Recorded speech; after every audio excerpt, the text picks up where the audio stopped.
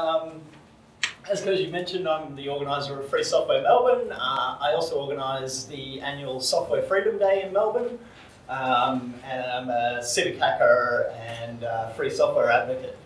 Um, so we'll have a look at the, the nuts and bolts of uh, some actual licenses and how the mechanics of them work and why it might matter for you to license your software projects uh, in a certain way or be selective about the software, the, the licensing of software you use. Um, sort of as Koji mentioned, like just being supportive of and using free software uh, can help encourage that kind of behavior in, in others. Um, so the first uh, nasty term to, to pull apart to understand software licensing is intellectual property. Um, and this is a, a grab bag of lots of different legal uh, fields. So intellectual property isn't a, a, single legal field, it's a conglomeration of many different ones. And which fields are included and not included can depend on the jurisdiction or the country. Um, but for Australia, um, we have, uh, or well, almost every jurisdiction has copyright, trademark, and patent law uh, under the umbrella of intellectual property. Um, and in Australia, we also include uh, designs and uh, plant breeding rights of all things. There are big five intellectual property rights in Australia, um, but copyright's the, the main one we'll be focused on. There is some overlap, so uh, trademark has a pretty famous example uh, with Firefox, which uh, I won't have to explain now that uh, Koji's already been talking about it. Um, there was an issue where uh, Mozilla, the company who makes Firefox, had to enforce their trademark uh, even against people who that they wanted to cooperate with. Uh, so for a, a while, uh, Linux distributions had to distribute a program called Iceweasel, which was Firefox with a different logo and a different name. And that was so that they could protect their trademark, because if they let some people get away with it, then they lose their right to enforce trademark. So sometimes software licensing overlaps. Uh, Mozilla updated their most recent license to make exceptions for this case. So uh, now Firefox can be packaged as usual. Um, but generally, uh, copyright is the, uh, the part of law we're going to be interested in. Um, and unfortunately, again, copyright is a, a, legal thing that's made up by each country and each jurisdiction. So uh, the rules could vary from place to place, um, but in general for Australia, uh, we have automatic assignment of cop copyright, so there's no extra action you have to perform. As soon as you create an artistic or a digital or a, a program, a, a, digital work, uh, copyright is assigned to you, the author, immediately, automatically. Um, and the duration of copyright in Australia is generally uh, 70 years plus life. There are some uh, exceptions to that, but for, for most uh, purposes, 70 years plus, plus life.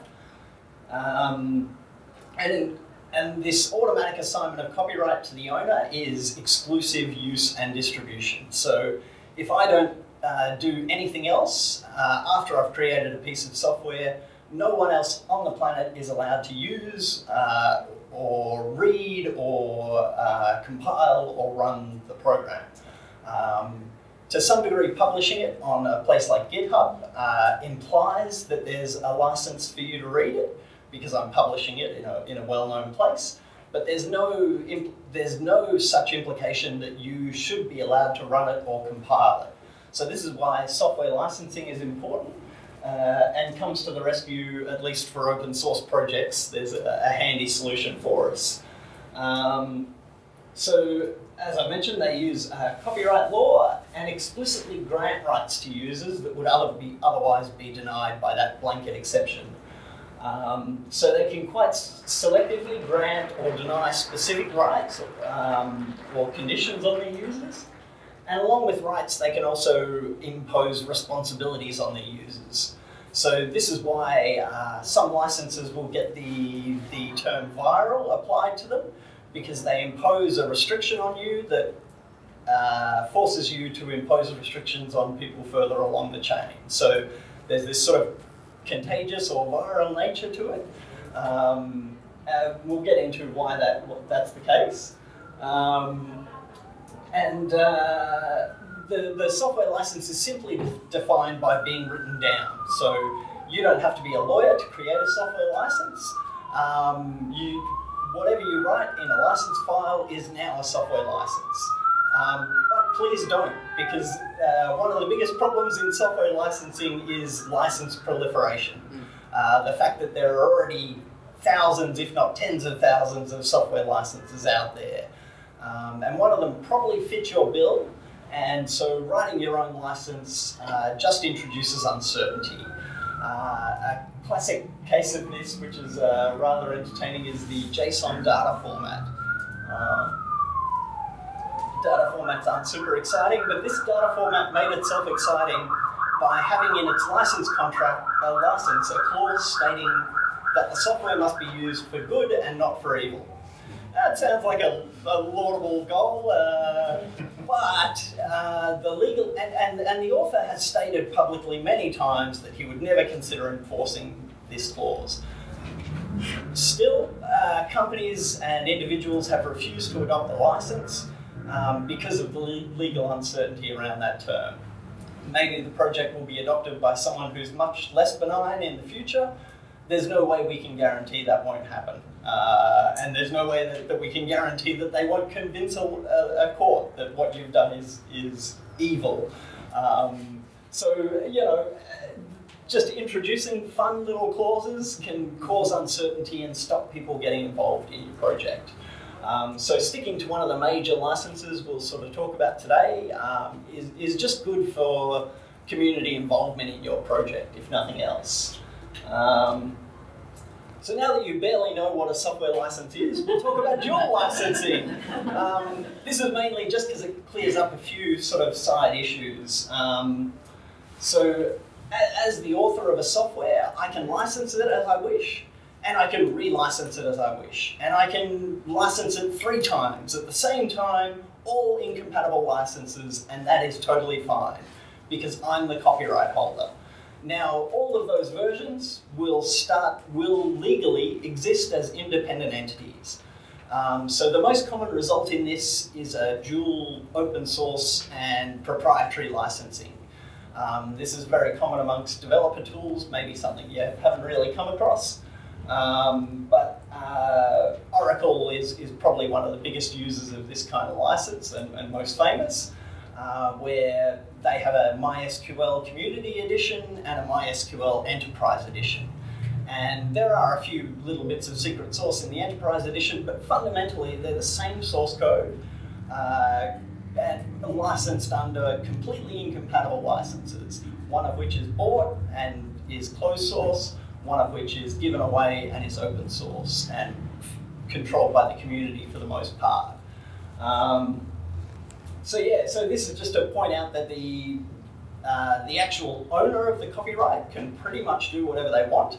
Um, but then as users of software, we only get to take what license we've been able to, to get the software with. So I can't have the open source license for SQL Server, acquire an enterprise version of SQL Server and think I'm okay running it. Uh, they are considered two separate legal entities and not at all the same thing under law uh, anymore. So, uh, and yeah, this can also cause friction with getting people into a project where you have to get explicit permission from people to uh, allow relicensing of software. And so this can result in having to have uh, an agreement when you start contributing to the process to the project. Um, so yeah, this kind of dual licensing probably isn't the kind of thing you want, um, but yeah, is just there to highlight the uniqueness of uh, your power as an author. Um, so if we look at, we can look at licenses in a lot of different ways. Um, we can kind of just split all licenses into permissive and restrictive. So this is a, just a subset of licenses. Which ones they are aren't, aren't hugely important. But we can just say, put a line down the middle, all these licenses are permissive, all these licenses are restrictive. Um, and so the, the permissive licenses are characterized by very minimal restrictions uh, on anyone at all and very minimal in size. Um, and these espouse the open source principles. I'm glad I don't have to go into open source versus free software if you're all here for the last session. Um, so these minimalist licenses are the open source um, licenses. Uh, and if we break it out, and then there's uh, the restrictive licenses, which take the more user-centric and community-centric approach, uh, and actually impose restrictions on developers and distributors designed to protect users. So um, to make it a little bit more nuanced, we can break up the groups into, into four sort of groups, uh, which are the MIT BSD permissive licenses, uh, the Apache license, licenses, and then the protective licenses, and a fourth category of all the other thousands of licenses that could be anywhere on the spectrum. Um, but generally, even the unique licenses are based on an existing license in this paradigm. And so if you know these, uh, the, I suppose the, the three main families of the MIT, uh, the second group of, of GPL and the Apache style licenses, you'll have a good framework for understanding any software license you come across. Um, so yeah, and then there are sort of the uh, the Apache licenses we won't go into today because that's a, a humongous topic by itself.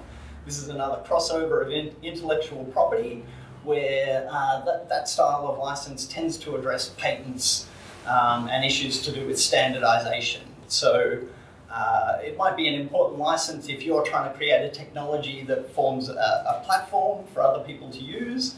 Um, but yeah, is fairly specialist and uh, would require a, a 40 minute session on its own.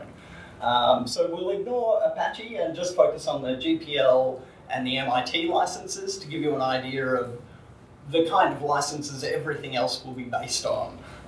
Um, and then in the, in the sort of niche and quirky uh, areas, there are licenses such as the Do What You Want license, the Buy Me a Beer license, the Pay What You Want license, the Send Me a Postcard license, uh, so ranging from useful to hilarious.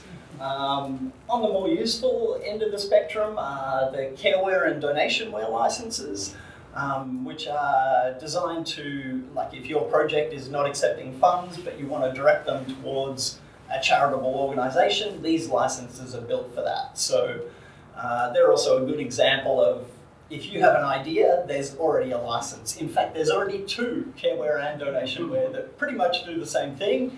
Um, but obviously, whoever wrote donationware didn't know about careware, and so just penned their own license and now we have two of them to deal with. so uh, a bit of research on if, if, you have some particular idea of what you want to achieve um, and you think oh, no one will have done that, you're probably wrong. Someone probably has done it. Um, so the MIT license uh, is one of the permissive ones, which, uh, as I mentioned, are quite short. It's uh, 168 words. It's five minutes worth of reading. It's all pretty clear English. So uh, this is a license, if you're interested in this sort of thing, I highly recommend having read it. Um, it doesn't take long, it's really easy to understand. Um, and the few restrictions it does have are just keeping the uh, author and the copyright assignment clear and keeping a copy of the license with the work. Um, and then uh, effectively, yeah, you do what you want with the rest of it. Um, because of its simplicity and shortness, uh, the MIT license is, is uh, the basis of a lot of derivative licenses. Um, so just knowing this license will have you know about over 50% of all the licenses in the world. Uh, there'll be an MIT license with some extra clause tacked on the end. Um, and uh, one of the advantages of the MIT license is that you could, there are so few restrictions, you can use this software in a proprietary project um, without any issues. Um, and a, uh, an example of the flavor of variance you'll get um, is the BSD license is uh, often compared as a, a, an equal to the MIT license. Um, and its uh, little niche area is that it it has clauses in it about um, whether your project can be used in advertising material for another project. So, um, as opposed to an MIT license project, if I imported some uh, BSD license project, I couldn't then brag in my advertising material that I'm using this project. Cool. Um, so let's move on to the GPL. This is one of the more restrictive licenses. Um, and as Koji thankfully also explained, focuses on, on user freedoms and not free cost. Um, it is perfectly, it used to actually be a common practice to sell CDs with Linux on it. Um, back in the day when downloading things cost money. Um, it was very common to actually sell CDs, and what you were selling was the CD and giving away the software. But um, but there's no restriction on, on money and, and the GPL. Um, the GPL is a lot wordier. It's over 5,000 words, the most recent version, and you can tell it's written by lawyers. Um, it's not an easy document to read through. Um, some of the older versions are reasonably easy, um, but still not a five minute kind of read through like the MIT licenses are. Um, but yeah, all of these words are, are, focused on preserving those four freedoms. Uh, Koji mentioned the, uh, the right to study, run, modify, and redistribute the software. Um, whereas open source really only protects the study and arguably the run uh, aspects of software. So uh, I suppose uh, the Android example is a good example where, yes, they have published the source code, but trying to get it running is a week's worth of work if, you, if you're trying to do it yourself. So, um, so uh, yeah, free software, all of these words are focused on preserving these rights going forwards. Um, and so that last uh, term, redistribute, is where a lot of the responsibilities are imposed on you as a developer. Um, if you take a GPL project and modify it and then distribute it, you are now required to preserve those four freedoms going forwards for all users. Um, so this is why a lot of people, uh, a lot of developers don't like the GPL because it imposes restrictions on them um, but these restrictions are so that the community and users are free from the tyranny of the software developer. Um, and, and we are terrible. um, so a couple of variants of the GPL um, uh, at quite drastically different ends of, of variants on the GPL are the lesser GPL, um, which allows the project unmodified to be included into a proprietary project. Um, so this was seen as a bit of a best of both worlds. You can get the corporate adoption of the MIT license of, of companies will use this in a, in a proprietary project. Um, but you also get the preservation of the four freedoms for the project as a whole. Um, and the, uh, the Affero GPL uh, is almost the exact opposite. Um, it was created when uh, project um, managers were concerned that their project was being, for example, hosted in a cloud service, and the cloud service was uh, responding with data, and they were saying, well, we haven't distributed the, the service to the people, we've hosted the service on our own, and we've just distributed the results. And so the Affero GPL redefines distribution as any kind of network access. Um, so that uh, just hosting the project in a cloud doesn't stop you from being responsible for preserving those freedoms. Um, and uh, not strictly a software license, but I'd be remiss if I didn't mention the Creative Commons licenses. Um, like the free software licenses, these uh, circumvent the automatic assignment of copyright uh, to grant use, modification, and development of projects such as translations, remixing, or inclusion in other works.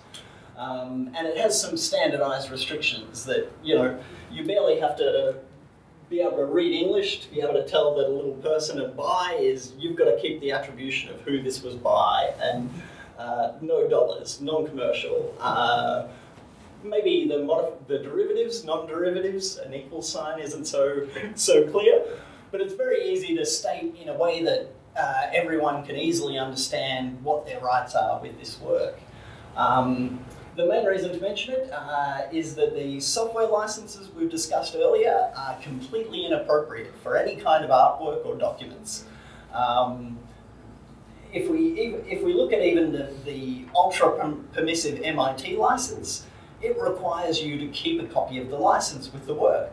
So if someone had an image and they'd uh, licensed it as MIT, and I wanted to reuse that image in another image, technically I would have to somehow include the license in there. And if I printed out that image and started distributing it around, technically I should be printing out all of the licenses for all of the images in there and distributing that with every copy of the image. So uh, software licenses shouldn't be used for art, and, and likewise the Creative Commons shouldn't be used for, for software but they, are, they very often overlap. If you're licensing your software open, open source or free software, you probably want your artwork and documentation to be under the Creative Commons uh, as well. So, uh, good, I'm getting towards the end. Um, so things you might want to consider um, for your project, uh, like which license you pick is going to be highly dependent on your goals and what you're trying to achieve. Uh, are you just trying to communicate an idea? Are you trying to help people to be able to achieve something? Are you trying to enable the community to be able to uh, do something it didn't do before?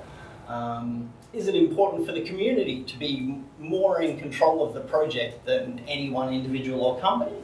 Uh, then the GPL would probably be the most appropriate license. Um, and there are some interesting case studies, if we've got time at the end, um, for how the GPL has done that. Um, uh, is, it, is it potentially beneficial to have commercial interests involved in the project um, or um, uh, inclusion in a, a proprietary project? Uh, in that case, one of the more permissive MIT style licenses might be up your alley.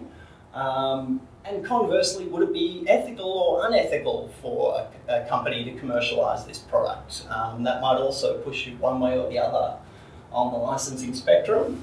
Um, and, or do we want to uh, have this technology form the basis of a, an interchange or, or a standard? In that case, um, going into the deep, deep well that is the Apache and, and patent licenses uh, might be essential. So we're just about out of time, which uh, the only slide I had left was the list of tons of stuff we haven't covered. Um, so there's, there's lots of side issues on this.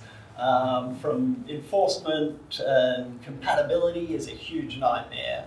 Each one of these licenses has a huge list of every other license and its own opinion on them and whether they're compatible. So um, and if you're just interested in general, I run Free Software Melbourne where we talk about these sort of issues. There's also the Open Source Industry Australia who are more business and government facing. Um, and Linux Users Victoria who are more technical facing. Um, uh, and yes, I think that's about it from me. Uh, I think we've got enough time for some Q&A for, for one Q&A. Otherwise, you can come and chase us, and we've got some stickers down the front if you want to come up and we, chat. Can we take a few questions? One, one, next one question.